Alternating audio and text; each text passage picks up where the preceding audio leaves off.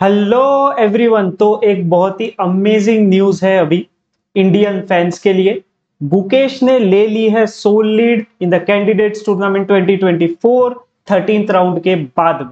तो अभी हम लोग जैसे देख सकते हैं कि लीडर बोर्ड जो है यहाँ पर बुकेश एट एंड हाफ़ के साथ कर रहा है लीड करुआना, नाकामुरा और नेपो बिल्कुल पीछे है एट पॉइंट्स के साथ। तो अभी जो चांसेस बने हैं, वो सिर्फ़ इन चार लोगों के लिए बने हुए हैं। बाकी सबके लिए चांसेस बिल्कुल ज़ीरो हो चुके हैं। मैं आपको पहले बता देता हूँ कि राउंड 14 में किसका किसका पेयरिंग होने वाला है। तो गुकेश और नाकामुरा का पेयरिंग है। अभी एक देखो, एक सिंपल चीज़ हमको याद रखनी है। गुकेश को ड्रॉ करना ही पड़ेगा। इट इज़ मस्ट ड्रॉ अगर गुकेश ने नहीं किया तो इन तीनों में से कोई ना कोई तो एट एंड लाइक सॉरी इन तीनों में से कोई ना कोई विन कर लेगा। इसके ना चांसेस बहुत हाई है अभी के लिए। तो इसीलिए गुकेश को ड्रॉ करना मस्ट है। और एक चीज़ हम लोग देख सकते हैं कि जैसे राउंड फोर्टीन है अगर गुकेश यहाँ लॉस्ट कर जाता है तो ऑब्वियसली नाकामुरा विल विन तो अगर गुकेश इवन ड्रॉ भी कर ले तो टाई ब्रेक के तरफ़ चला जाएगा। और हम लोग देखते हैं मैचअप्स प्रज्ञंदा आबासोव और विदित और लिवेजा ये दोनों मैचअप्स अभी रेलेवेंट नहीं है। अभी रेलेवेंट मैचअप्स है Gukesh and Nakamura Nepo and Caruana अब देखो यहाँ पर चीज़ कैसी है। मान लेते हैं गुकेश और नाकामुरा का ड्रॉ हो गया। गुकेश नाकामुरा के ड्रॉ के बाद नाकामुरा के चांस हो जाते कट ज़ीरो ठीक है? क्योंकि ड्रॉ हो जाएगा नाकामुरा के eight and half points Gukesh के नाइन पॉइंट्स गुकेश लीड कर जाएगा।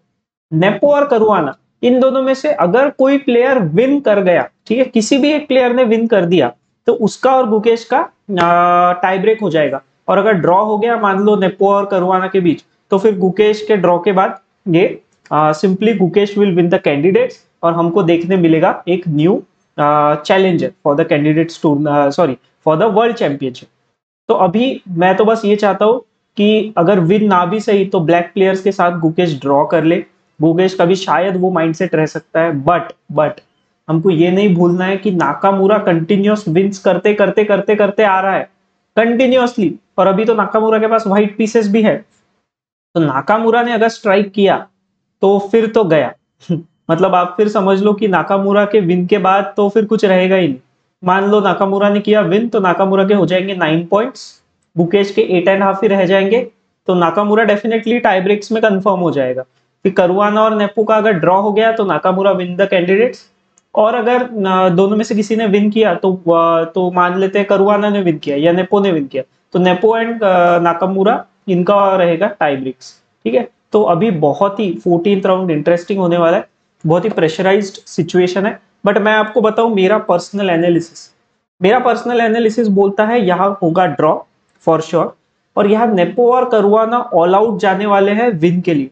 और ऑल आउट सिचुएशंस में Caruana is little bit better तो यहाँ ड्रॉ और यहाँ पे करुआना विन ऐसे सिचुएशन बने हुए हैं। और गुकेश और करुआना दोनों टाइब्रिक्स की तरफ़ चले जाएँगे। ऐसा अभी के लिए इस पॉइंट ऑफ़ टाइम पे मेरे हिसाब से मुझे सिचुएशन लग रहा है। ठीक है? तो एक बार थर्टींथ राउंड का एनालिसिस हम लोग कर लेते हैं क्विकली कि क्या हुआ है। नाकामुरा और नेपो का हुआ ड्रॉ तो e four e five opening खेला गया है इधर। तो यहाँ पे नेपो ने थोड़ा सा ट्राई किया, नेपो को तो ऑब्वियसली करना ही पड़ेगा। C three d four ideas के साथ में ट्राई किया है। बहुत ही ऐसा नहीं है कि बहुत ही न्यू आइडिया है या फिर कुछ कॉमन आइडियाज़ ही है। Exchange of pawns exchange of knights और एक्सचेंज ऑफ़ बिशप्स हमको सब कुछ देखने मिल चुका है इधर। अभी यहाँ से देखो बिशप पीछे आ गया ऑन सी टू यहाँ पर नाकामुरा का इतना मुझे ट्रायल दिखा नहीं विन के लिए, क्योंकि ऐसा मतलब ऐसा सिचुएशन ही कोई ऐसी बनी नहीं थी। फ़ोन पुश ये चेकमेट थ्रेट को पूरी तरह से अवॉइड करने के लिए। रुक ने अटैक किया, इस फ़ोन पर लॉट ऑफ़ प्रेशर है।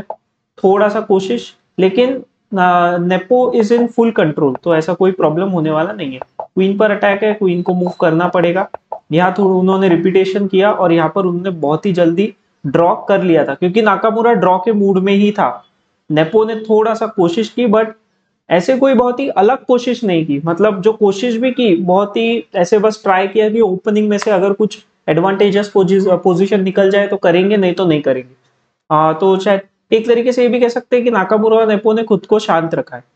करुआना और प्रज्ञंदा ये मैचअप ने ना थोड़ा गेम बदल दिया यहाँ ना प्रज्ञंदा ने व्हाइट के साथ में एटलीस्ट ड्रॉ लेना ही चाहिए था। उसने ड्रॉ क्यों नहीं लिया? मतलब डेफिनेटली ट्राई तो किया ही होगा ऐसा नहीं कि जानबूझकर नहीं किया है। बट ड्रॉ करना चाहिए था प्रज्ञनंदा ने। यहाँ हमको वापस सिसिलियन देखने मिला करुआना की तरफ़ से। और करुआना ने सिसिलियन बहुत खेला है इस कैंडिडेट्स में।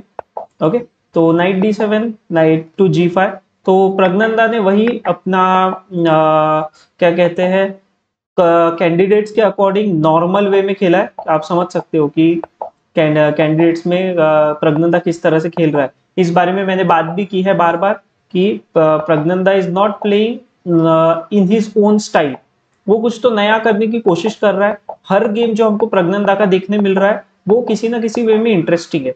अब ये दो पॉन्स ना बहुत अच्छे से अटैक कर रहे हैं। नाइट का अच्छे से सेंटर में सेटअप हो चुका है। तो इस वजह से यहाँ पर बहुत से प्रॉब्लम्स फेस करने पड़े। एक्सचेंज भी लॉस हो गया प्रज्ञनदा का। और बहुत ही अच्छा अटैक हमको देखने मिला है करुआना जनरली आपको बताओ क्या होता है? व्हाइट प्लेयर इस तरफ़ से अटैक करने की कोशिश करता है बट यहाँ पे दो जो एक आ, अलग सिचुएशंस देखने मिली कि सिसिलियन खेलने के बाद ब्लैक ने किया लॉन्ग कैसल ओके ये एक बहुत ही rarest of the rarest situation है बहुत ही रेयर सिचुएशन है ये। ऐसा होता नहीं है। ब्लैक तो शॉर्ट कैसल ही करता है। और व्हाइट ने शॉर्ट कैसल किया है। व्हाइट तो शॉर्ट कैसल बहुत से वेरिएशन में करता भी है तो इतना रेयर नहीं कह सकते। But black doing long castle और देखो, उसने करुआना ने अपने किंग को बराबर से छुपा कर रख लिया है। ओके यहाँ से बहुत प्रेशर पुट करने की कोशिश की है। बिल्कुल ऑल आउट अटैक किया है करुआना ने इस गेम में। और यही तो एक बात है ना कि वो ऑल आउट अटैक कर रहा है तो इसीलिए तो अभी डर है। गुकेश को ड्रॉ करना ही पड़ेगा किसी भी वे में। ड्रॉ नहीं किया तो ही इज़ आउट ठीक है? For sure he is out कि ड्रॉ नहीं करेगा तो नाकामुरा विन हो जाएगा, जैसे मैंने आपको बताया। यहाँ पे थोड़ा सा सिचुएशन कंसोलिडेट हो गया था प्रगनंदा के फेवर में ओके बट प्रॉब्लम यही है ना कि उसके पास एक रुक है फॉर अ नाइट तो इस वजह से सिचुएशन फिर भी कंट्रोल में करवाना की ही रहती है। विनिंग चांस तो नहीं थे प्रगनंदा के पास डेफिनेटली बस उसको सरवाइव करने की कोशिश करनी चाहिए थी। कोशिश की है, ऐसी बात नहीं है कि कोशिश ही नहीं की है। बट ठीक है, अब जिस तरीके से हुआ नहीं भी हो पाया। बिशप टू बी टू आया पॉन पुश आया ओके बिशप गया पीछे। अब देखो, यहाँ से सिचुएशन पूरी की पूरी गई है करवाना के फेवर में। बिशप ए वन ये कोई अच्छा स्क्वायर लगता नहीं है बिशप के लिए बट चलो ठीक है कंटिन्यू हुआ। नाइट पर प्रेशर है नाइट गया पीछे। एक्सचेंज ऑफ़ पॉन्स हमको देखने मिला है। ये रूक्स और बिशप बहुत ही एक्टिवली अटैक करने के लिए अंदर आ गए। प्रॉब्लम ये हुआ कि ये बिशप एक तरफ़ फंस के रह गया। ओके पॉन पुश ये भी पीस का लॉस हो चुका है अभी। अभी आप क्या ही करोगे? मतलब आप एज सच देखोगे तो कुछ बचा ही नहीं है। है ना? क्योंकि ये पॉन भी पूरी तरह से आगे आ रहा है तो फिर अब ऐसे सिचुएशन में विन या फिर इवन ड्रॉ के लिए जाना not possible to be honest not possible at all queen तो बना लिया, लेकिन अभी ये किंग को मूव कहा करोगे? किंग को लाइक इधर अगर आप मूव करते भी हो तो ये आप मार दोगे, वो मार देगा बिशप यहाँ के पॉन मारेगा, और ये हो गया पॉन प्रमोट ओके तो इस वजह से यहाँ पे किया है प्रज्ञनदा ने रिजाइन ट्राई किया है बट इतना कुछ नहीं. निजत और विदित ने तो ज़्यादा कुछ किया नहीं है। ड्रॉ हुआ है। पेट्रोफ डिफेंस अपना निजत ने कंटिन्यू रखा है। ओके अभी ये लोग तो मेनली प्राइज मनी के लिए खेल रहे हैं। क्योंकि मतलब अभी किसी चीज़ के लिए तो खेलना ही पड़ेगा ना। हर हाफ़ पॉइंट का आपको कैंडिडेट्स टूर्नामेंट में ओके एक चीज़ को याद रखो। For every half point you gain you get three thousand five hundred dollar okay तो आप विन करते हो तो सेवन थाउज़ेंड डॉलर और for a draw you get three thousand five hundred dollar okay तो उन दोनों ने वही चीज़ की है कि चलो साढ़े तीन साढ़े तीन ले लेते हैं। थोड़ा सा यहाँ पर विदित ने कोशिश की है बिल्कुल अपना अटैक मेंटेन रखने के लिए बट एज सच ऐसा नहीं है कि बहुत ही कुछ स्ट्रॉन्ग अटैक किया है। नॉर्मल अटैक है, जो इस सिचुएशन में आ जाता है और किंग और नाइट का यहाँ पे रिपीटेशन हुआ है बार बार और इस तरीके से ये गेम हुआ है ड्रॉ और यहाँ पर जो एक इम्पोर्टेंट मैचअप है गुकेश ने हराया है अली रेजा को। बहुत ही इंपॉर्टेंट मैचअप और इसी के साथ गुकेश ने लीड किया था। तो वो देखना बहुत ही इंपॉर्टेंट है कि किस तरीके से हराया है। और ये चीज़ की मैंने बात भी की है बहुत बार कि अली रेजा जो लेवल का प्लेयर है और जिस तरीके का उसका कैंडिडेट्स में परफॉर्मेंस है, बहुत ही बिल्कुल अपोजिट है। ये सेकेंड टाइम हुआ है। पहले कैंडिडेट्स में भी सेम चीज़ हमको देखने मिली थी कि अली रेजा का परफॉर्मेंस कैंडिडेट्स वाइज अच्छा नहीं होता है। ठीक है? तो यहाँ पर वही चीज़ का गुकेश ने थोड़ा सा फ़ायदा उठा लिया एक्सचेंज ऑफ़ पॉन्स हुआ। और उसके विन के साथ ना बाकी लोगों पर बहुत प्रेशर आ चुका है। तो यही तो एक बात होती है प्रेशर में मिस्टेक करने के चांसेस लोगों के बहुत हाई है, किसी के भी। ओके बिशप ई थ्री आया pawn to a three pawn c four push pawn to g three अभी तक के तो सारा सिचुएशन हमको नॉर्मल ही लग रहा है।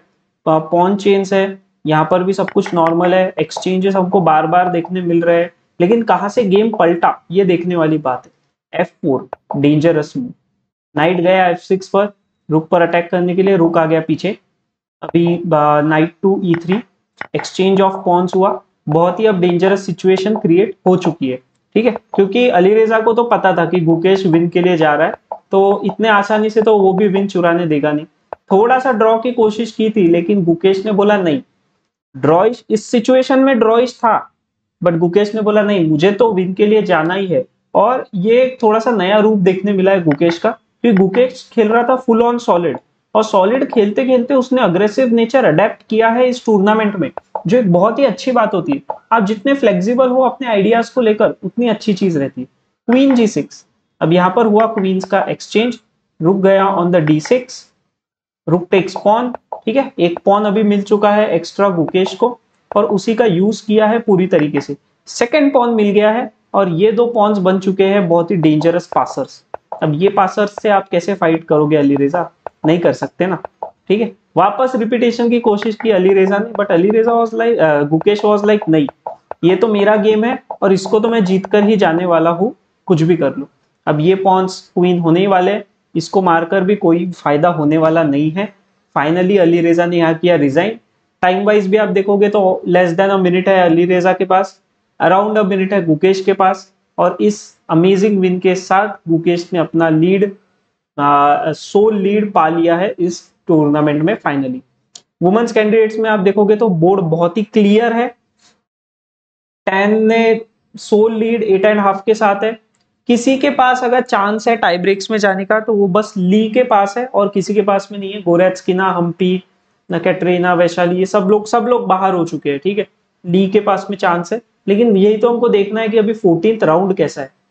फोर्टीन राउंड है ली वर्सेस कोनेरू अगर यहाँ ड्रॉ हो जाता है टेन इज़ विनिंग कि टेन को कोई ज़रूरत नहीं है ड्रॉ करे लॉस करे, कुछ भी हो जाए। और टेन को एक एडवांटेज ये है कि एन्ना मुजीचुक के साथ में मैच है।